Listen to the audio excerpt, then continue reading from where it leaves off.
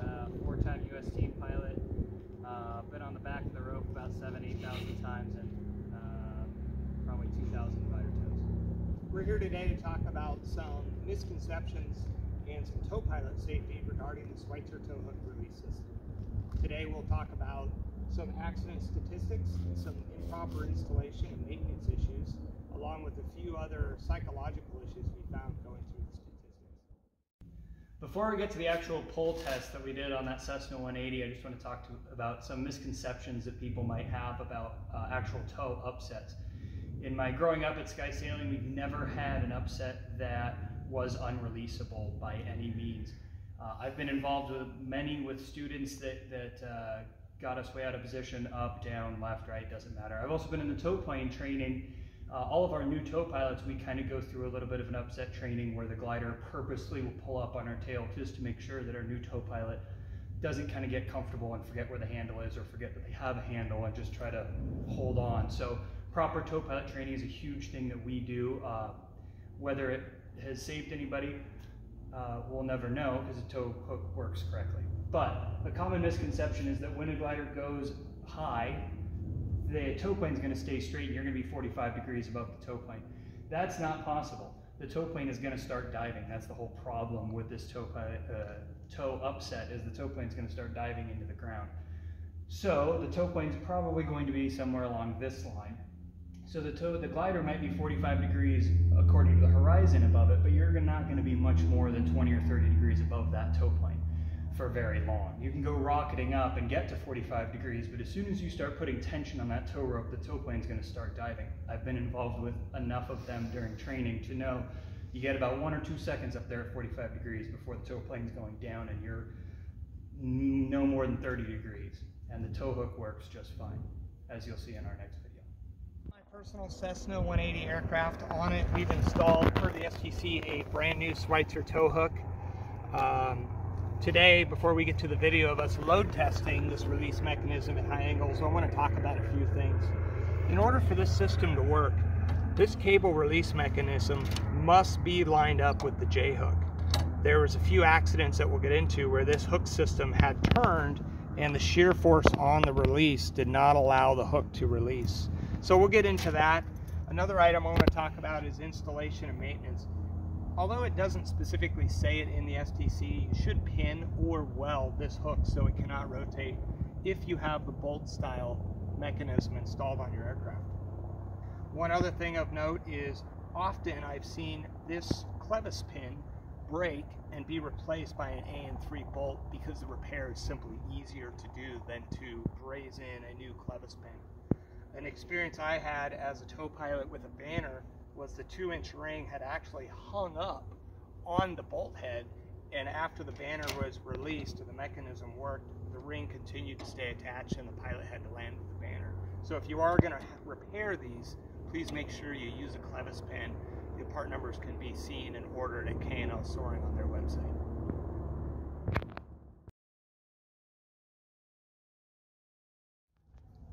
Okay, so as you can see, the aircraft's completely disassembled uh, for annual maintenance and a bunch of other uh, things I'm modifying on the aircraft.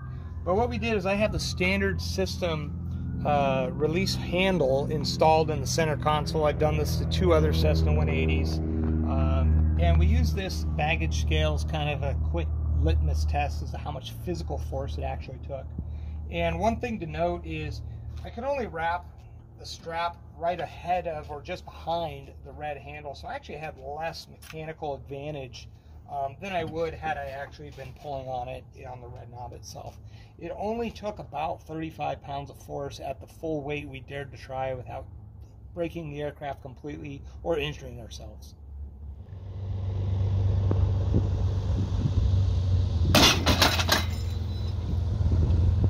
So we just got done load testing this thing. We, uh, we're just above 50 degrees, which we already talked about inside is going to be impossible to get to, and we put a thousand pounds of force on it. When we started getting above a thousand pounds of force, we started actually bending this bracket. The STC doesn't give you a ton of information on how to build this bracket, so when I welded it up, I actually uh, gusseted it down here and, and made sure this was going to be the strongest part of the uh, hook. We also used the roll pins here. We didn't weld it. Uh, weld it like we had talked about, but it won't go side to side. And the force we put on this hook pulled this up and was bending this entire steel plate. This steel plate is a whole lot thicker than it actually needs to be as well. This is the tow rope we use at Sky Sailing. It's a 1200 pound breaking strength, the same as this hook. There is no way this rope is gonna bend this steel. It's just impossible. So the amount of force we just put onto this and we got about 40 pounds of pull force on the hook and it released just fine. It didn't leave it scored, didn't round anything out. The hook worked beautifully. But we bent this steel plate. A glider's not gonna do that. Okay guys, so uh, it's been a few days since I was at the airport attempting to break my own personal aircraft. Um, what I did is I took what we found and reviewed these findings with uh, a bunch of friends uh, cross country in the soaring community. These are a couple of DPEs, some CFIGs, tow pilots, other A&Ps, and we came up with uh, kind of some great things to consider uh, for safer towing operations. So uh, what I'm going to do in this video is touch on some accidents, uh, some personal experiences, Schweizer tow hooks in general, and what we can do better as a soaring community to improve the overall safety of tow pilots in our sport. So starting with the accidents, I reviewed 78 uh, tow plane accidents from 1983 until present day, of which resulted in 20 fatalities. And I've broken them down into kind of sections for you. So what we have, we have about 25 landing accidents. Three of them were fast and long. Two of them were tailwheel shimmy. Uh, one resulted in a fatality, and I'll go back to this in a minute, but both of them uh, were low time tailwheel pilots. And one was a hard landing by, I believe, a Cessna 182. So fast and long. First of all, guys, we can always go around. Uh, my mindset when I'm landing an aircraft is I'm always going around until I'm not. It's not the other way around. I am not landing minded. I am go around minded. And I almost learned that the hard way landing off airport my personal aircraft. Um, so always go around. Uh, you may need to use the brakes. Initial tailwheel instructors, you're probably going to disagree with me here, but uh, you know, nearly 4,000 hours of tailwheel, 10,000 tows. Uh, the dirty little secret they don't tell you is sometimes you got to use the brakes in your tail dragger to keep it on a runway, and that may that may be the uh, solution to those tailwheel shimmies. And everyone says tailwheel pilots, the most important thing is the rudder. And while I won't disagree, don't discount the advantages you get of adverse yaw from holding that wing into the wind. Not only is it holding the wing down, but it's also helping you help yourself stay straight down the runway. So we're using that down aileron to keep us from weather vaning into the wind, using adverse yaw to our advantage. Uh, the next little category I came up with was fuel exhaustion. One was unusually high fuel consumption, which I actually personally experienced at one point in a 172. I had 20 gallons of gas, 20 minute flight, and the engine quit right as I was in the flare. I was pretty lucky. Uh, Pawnee drivers. Many of the reports mention the pilot using the fuel gauge. Said, well, I checked the fuel gauge and yada, yada, yada, and the engine quit. Um, and there's a lot of related factors with these, and these should be those little mental cues that kind of break the chain for you. And they were things in the reports like, well, I had done 12 tows, or I had been towing for over two hours. And those should have been your cues for you to go ahead and stop and get fuel. Um, I personally rebuilt the fuel uh, indicators on Pawnees. They're not a terribly accurate instrument. Uh, carry a watch, use the watch. Uh, mechanical the next category. We had 11 mechanical accidents. Uh, one was a fatality where simply cotter pin, castle nut fell off and the bolt fell out of the elevator horn, um, which resulted in a fatality. Two were gear collapses. Uh, three were just simple power loss on takeoff, kind of the rope break of the tow pilot. Uh, and then we had some others, which were pretty interesting. Um, now keep in mind these accidents span from your low time pilot to above 16,000 hours. Uh, one was flying into IMC, just going from airport A to B after re uh, retrieve and um, resulted in a fatality. Very high time pilot. Had some accidents taxiing, training with fatalities, not even towing gliders. Uh, one was a takeoff well above that aircraft's demonstrated crosswind limits. And then we had two that were mid-air accidents, one involving a uh, Cirrus and another involving a helicopter. So, and then kind of the, the meat and potatoes of what we're interested in as tow pilots, and we're talking about Schweizer hooks not releasing supposedly. And so uh, there were eight of these, which I call gliders high, tow pilot didn't release, or unknown factors. And these were all fatality accidents. And I'm going to go through these individually. So the first one I came across, the glider was high. It was apparently due to a dust devil. Unknown why the pilot didn't release. Unfortunately, a lot of these accidents don't mention the tow hook type, and the Pawnee had crashed. The second fatality was a Cessna, and it looks like it was medical impairment through toxicology reports and some other resources. Uh, but the tow pilot made a non-standard right-hand turn after takeoff, realized the mistake, did the quick course reversal, got slack in the rope, the glider pilot released, and the tow plane continued in a diving left turn and had crashed. Uh, little towing tip, new tow pilots, old tow pilots, if you're going to reverse course, level the wings, give your glider pilot a second or two so they can swing out and watch out of the wingtip or get outside the turn, whatever your procedure is.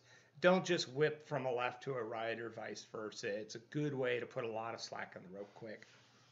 Uh, okay, moving on. Number three, a Super Cub. So the tow plane, uh, for some reason on takeoff, pitched up. The glider saw this happening, released. The Cub stalled and crashed. And this is one of the few ones where the NTSB notes the tow hook type, and it was a Schweizer tow hook, but it was bent 30 degrees to the side. So it had obviously rotated, which from earlier you guys know, we don't want the hooks to rotate. They need to be tight, welded, pinned, secured somehow to the bracket. Um, the next was a Pawnee, similar thing. It pitched up, the glider released, and the aircraft spun in.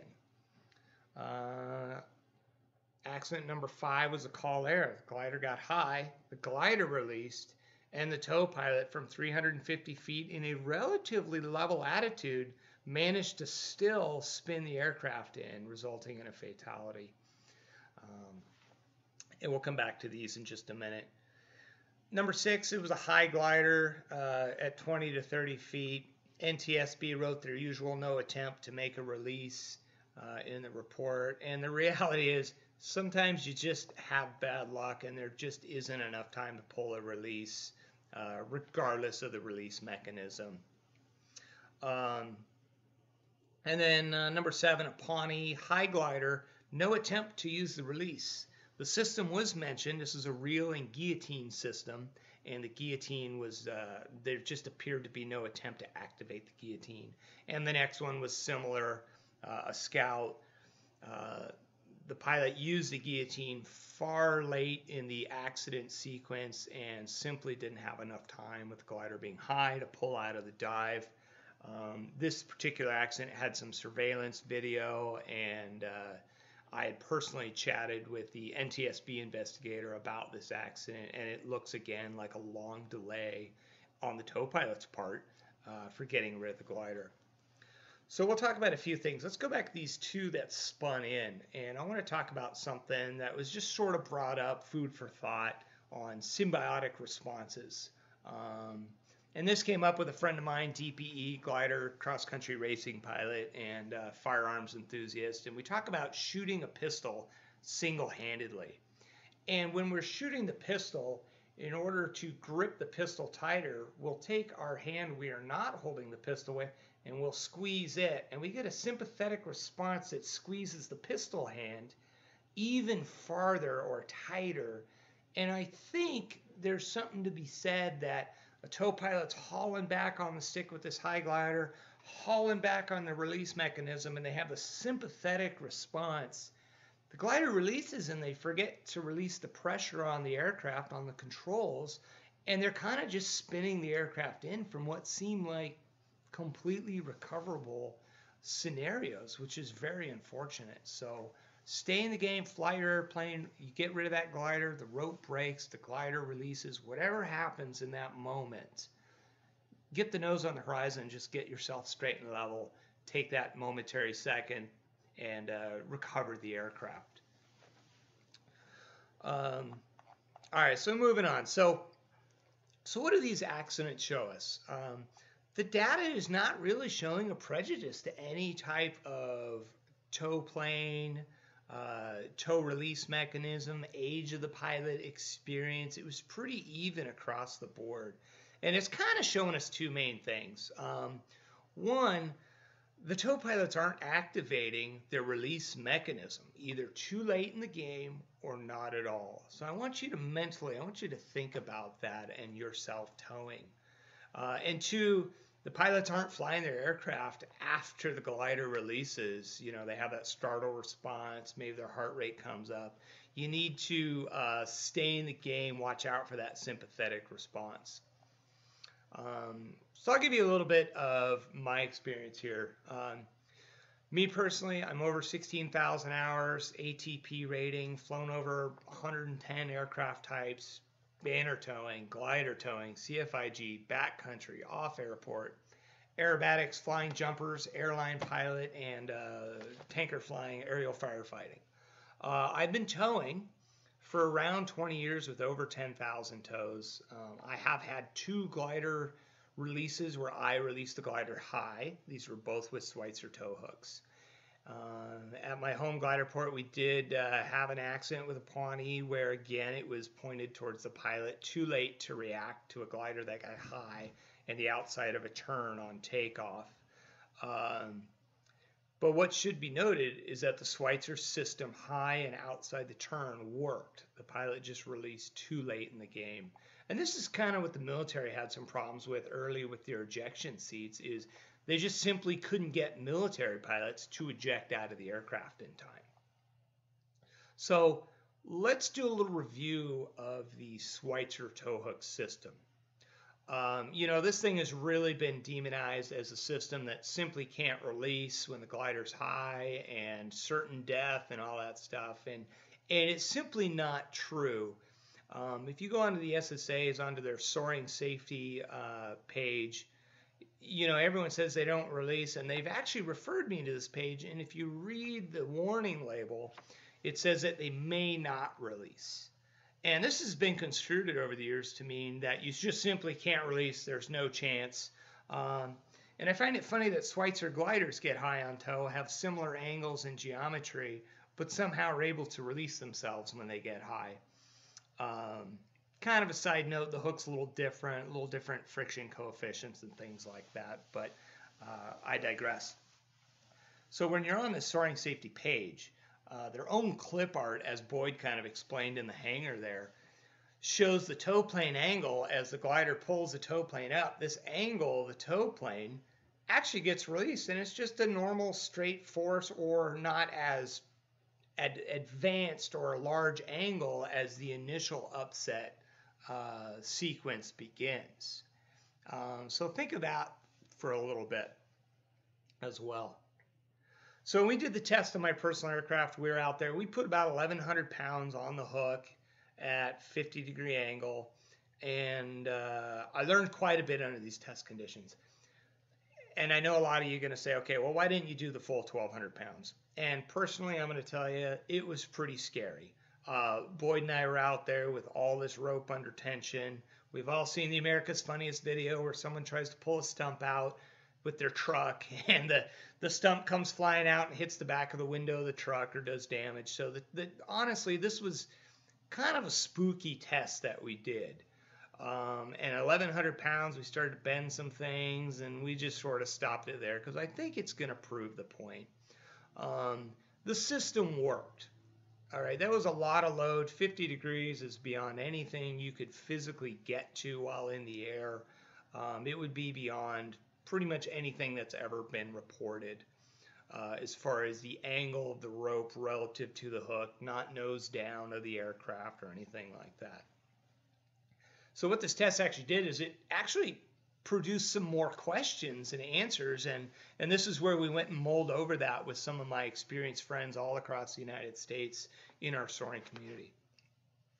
Um, and so we heard these online stories, you know, oh, I pulled the release and nothing happened, or the rope broke and it was scary, or I couldn't get to the handle because of the G forces. And we'll kind of circle back to that um, may not release. And I want to try to answer some of these why were these may not releases happening? And uh, we kind of came up with a few things that may be of interest. Uh, number one, when you release a glider under tension, it feels different. So we're used to, at the end of the day, my commercial operation I work at, we taxi by the office, we pull the release, we taxi the other end of the airport, we fuel it and park it for the night. Your operation may be a flyover, drop the rope, circle and land, or you might just have an inertia reel system where your, your hook is conveniently wound up inside your tow plane anyway but it's going to feel different. The release force is pretty light on your handle. And so subconsciously, what we're actually doing is negatively training ourselves for a proper response to a glider that's high on tow. It requires a lot more force on the handle. And so we're teaching ourselves an improper muscle memory so I want you to keep that in the back of your mind every time you taxi and you pull the release. It's the end of the day and you shut down and have your beer with your soaring friends. Uh, really think about that. And why why does this feel different? Why why? Yeah, the answer is the cable tension. So in my aircraft, I use a flight control cable, you know, either an eighth inch or a 5 16 cable. And in my Cessna, my ailerons, for instance, uh, the cable is tensioned at 40 pounds. It's preloaded. And so what happens is when you go to release this cable under no tension, it's just a little click. When you go to release a glider that's high on you, it's a big pull. You've got to take up all that slack and all that cable stretch and get it tight before the hook begins to slide forward and unlatch itself. Um, I like to use thick cable as thick as I can for the tow release system for that purpose. I have seen some, and maybe yours has this. They're essentially a real narrow, almost 16th inch, uh, skinny little cable that's going to take up the load of releasing a glider. So really consider your equipment uh, in that case. And then the next thing we considered was the leverage required from your handle. So when we did this test, I used a standard Schweizer handle. Uh, it bolt in the middle. You got about six inches to the knob at the top from the rotation point, and you've got about two inches below where the cable is hooked to the handle mechanism. And so from that, we were able to take our test, our pull force, and we were able to do some math uh, using a standard Schweizer handle. And so if you're not using a standard handle, take some of this as food for thought into consideration with your aircraft or your club or your commercial operator's operation. So when we did the test, it took 35 pounds just below the red knob, and that was uh, five and a quarter inches from the bolt that holds the handle into the housing where the handle rotates. So 35 pounds at 0.4375 feet that's five and a quarter inches, gave us a torque of 15.3 foot-pounds. Okay, and then we needed to see, well, what did that translate to at the other end where the cable is hooked to the bottom end of this handle? So we took our 15.3 foot-pounds of torque and divided it uh, by 0.5 or half a foot up at the handle, and that gave us 92 pounds is what the cable uh, had to pull at to release at that pretty exorbitant angle at 1100 pounds of force. So again, I want you to consider, think about that 92 pounds on your little narrow 16th of an inch trim cable that you've decided to use for your installation. Uh, there's a new company out there, actually an old company, but a newer STC. It's based on the Schweizer hook, uh, Pacific Aerial Tow Hooks. They use PATH for uh, like a short acronym. And it's based on the Schweizer design. For all intents and purposes, it's a Schweizer tow hook.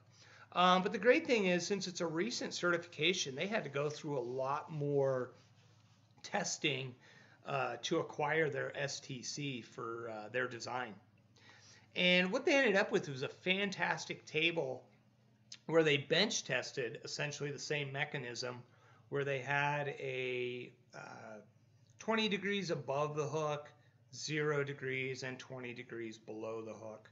And they went all the way up to 1,400 pounds, and they listed the results or their uh, cable tension required to physically pull that cable um, on their web page, uh, Pacific Aerial Tow Hooks. And so basically, kind of interpolating what they came up with uh, with what we came up with, we're kind of in line. Uh, for instance, they're 1,200 pounds straight back. It took 60 pounds of force on the cable to get it to release. Um, unfortunately, they're more of a banner towing company. I don't think they're as familiar with glider towing. Um, their information on the glider towing probably could be improved, but their testing was a lot more in depth. Uh, okay, so why are these gliders getting high in the first place? That's the big question. Why even worry about releasing gliders when we could just fly them behind the tow plane? And the NTSB reports are showing the canopies are coming open. And I think we all know this. The canopies don't show themselves as unlocked until you get airborne or just before you're airborne or somewhere in that early, early stage of flight. Uh, student pilots, flight instructors, commercial pilots, tow pilots. Uh, I've been flying skydivers for over 12 years, and let me tell you, they leave the door open every time they jump out of the aircraft. The airplane will fly just fine, missing a door, missing a canopy. It might cost you a couple of bucks and some damage and some repair, um, but just stay on your tow plane. It's going to be windy, it's going to be loud, there's going to be some startle response. You have to fly your aircraft. It will fly just fine, even with some damage uh, behind the tow plane. There were some great reports on there where canopies flew off and the glider pilot was able to radio, the tow plane and said, hey, let's just go around the pattern. And he stayed on tow and he got off downwind and landed the glider. And that's how these stories should be. But unfortunately, they're not all ending up like that. Uh, what I do personally as a CFIG, it's kind of fun for the student. We'll take a 33 up, doing maneuvers, whatever. We'll clear the airspace. I'll slow the glider way down. I'm flying the aircraft as an instructor, and I'll help my students open the canopy in flight. 35 miles an hour, or something like that, really slow. It's enjoyable, it's fun, it drives home the point that the aircraft flies just fine with the canopy open. And we attempt to correlate that with some of these accidents and kind of I attempt to show my students uh, that it's not a big deal. Um, all right, so the other big reason the advent of these GoPros, these small cameras. Everyone wants to make a YouTube video, show their friends and family. Uh, I do it too at work. It's fun to see what aerial firefighting looks like from inside the cockpit. Uh, I'm not allowed to share them publicly. And honestly, I turn them on at 12 miles and I leave the camera alone. It's the last thing on my mind. Um, when cameras come out, pilots tend to kind of make poor decisions. So keep that in mind as well. I know as an operation, we get to charge customers for the video. It's a great little money maker to help keep your operation going. But really brief your pilots, your instructors on these things. They should be kind of the last priority in the whole deal. Um, so what can we do better? Release early, release often uh, chair fly some of these realities that I just talked about. Um, subconsciously training ourselves in a poor way for the, the reality that some point you may release a glider under tension. Imagine being light in that seat. I heard some people saying, well, it's hard to get to the handle. And this obviously has nothing to do with the release system on your aircraft. You know, I was light in the seat and I, I, I didn't expect my hand to feel the way it did. Or, well, I came out of the seat. Well, you might need to tighten your seatbelt. Make sure you're in your aircraft tight. Um, think of that cable stretch. That that that handle, that release point is going to be a lot further back in the pull than you're used to. Um, think about that teeny little cable you might have on your aircraft. Maybe consider installing a, a flight control quality cable. Um, like I said, when I did the static test, it felt noticeably different in those ways. Um, think about your handle, your release handle itself. How much leverage is it providing? Is it a short little handle with the cable here and you don't have a lot of leverage? Is it six, seven, eight inches? Do you have a better moment arm on there? You may have to pull longer, but the forces might be easier. Um, is your Schweizer tow hook, as we talked about, is it secure? Is it pinned? Is it welded? Um, if you don't want to weld on it, is it got some little metal tabs on it to kind of block it from rotating? Is there something there that really is going to take care of those unusual flight loads and keep your handle straight?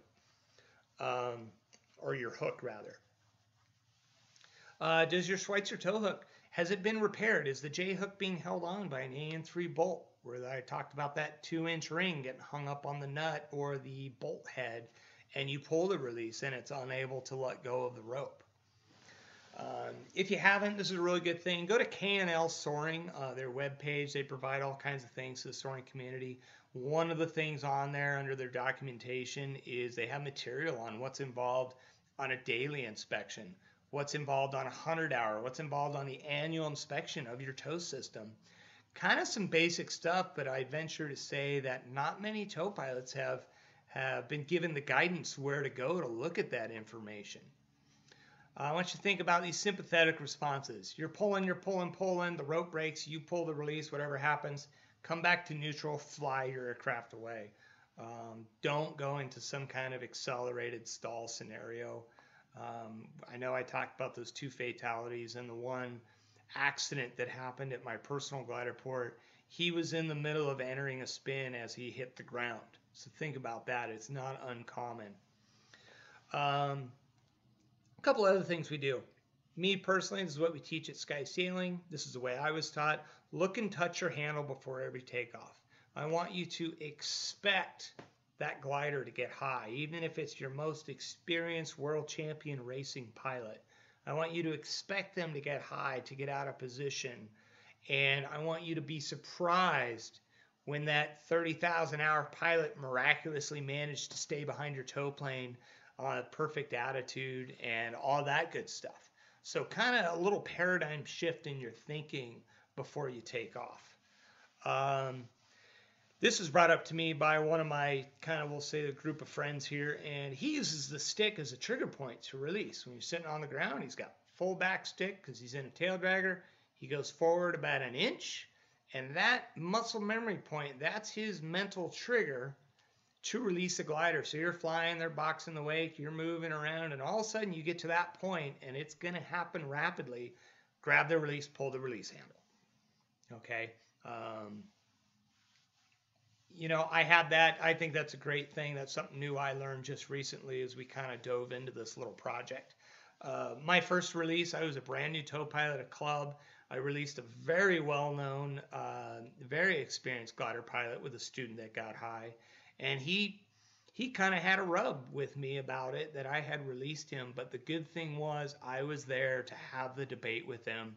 Um, and it resulted the outcome was a guaranteed successful outcome and that's kind of the point so uh, i hope you got some uh, high value food for thoughts out of this low value production uh, be safe be smart and uh, help us keep our insurance rates down